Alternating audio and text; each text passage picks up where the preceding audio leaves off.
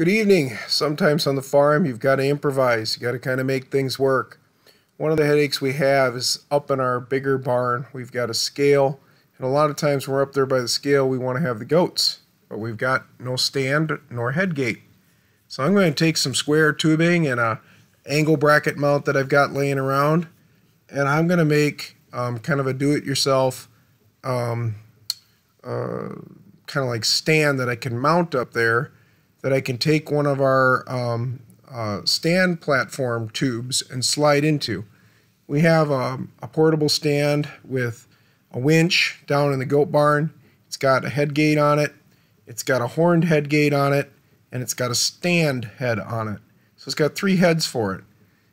So what I'm going to do is I'm going to make this stand out of um, one and a quarter inch uh, metal tubing, and I'm going to put it up in the large barn next to my scale and stuff and then I can take like the stand head and drop it in there. And that way when we're weighing goats or possibly doing a shot or working on a hoof or something up there we'll have a nice way of keeping them to the wall.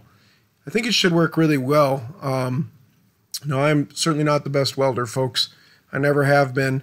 I've been learning my talent from a neighbor who does a lot of professional welding and I'm getting better but I'm I'm still not perfect as I start to figure out, you know, the difference between a, a 70-18 and a 60-18 rod and, you know, all that kind of stuff.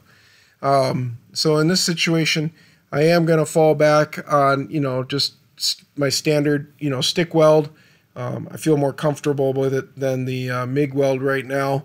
And um, I'm going to throw it together, trying to put it so that I've got kind of a nut welded to one end, and then I'm making like a 12 inch, you know, T out of it and then that T I'm going to mount to the plate, and then I'm going to mount that to one of my 4x4 big posts inside the arena, and then I can drop the, the headpiece in it and adjust it um, where I weld the nut on.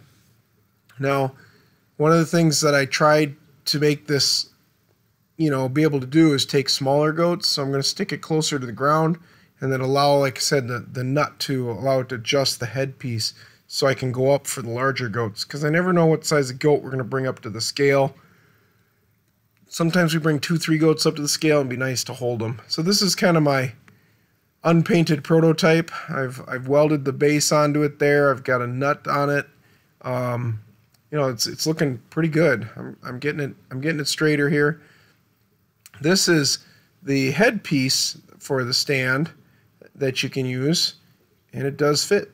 And I'm gonna, I haven't been using this because down on the portable stand, we've been using the um, the one that's made for horns, the stanchion gate for horns on it. So I've got this one for it laying around.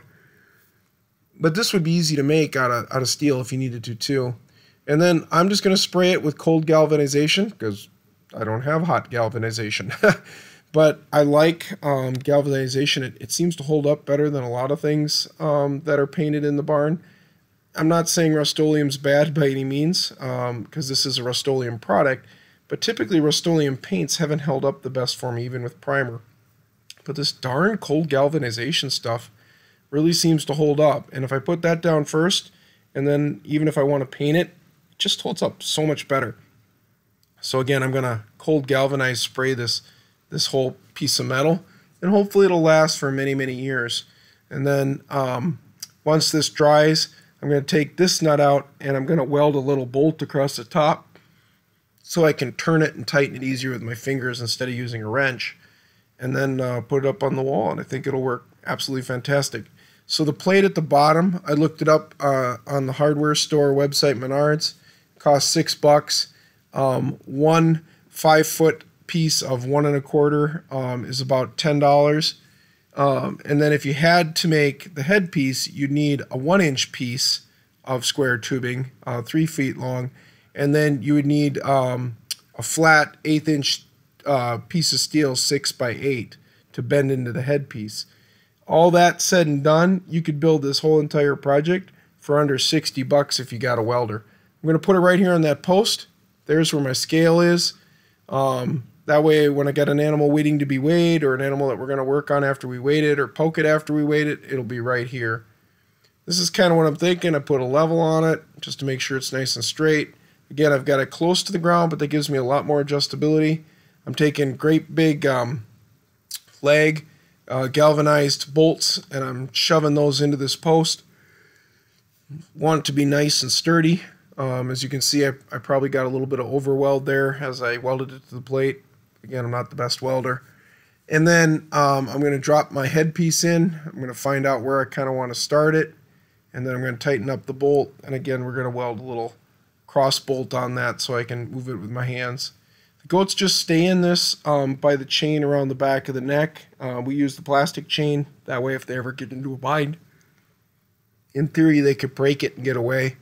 Um, I'm not really big into real metal chain on the back of their necks. So this is my stand, folks. This is what it looks like. Got a little piece of rubber there I put in the front of it just so they can't hurt themselves. And uh, I think this will work really good. So um, what we're going to do now is I'm going to go down to the barn. It's getting to be evening here. I'm going to grab myself uh, one of my middle-sized bucks because they're pretty strong, and I want to know if this is going to hold up.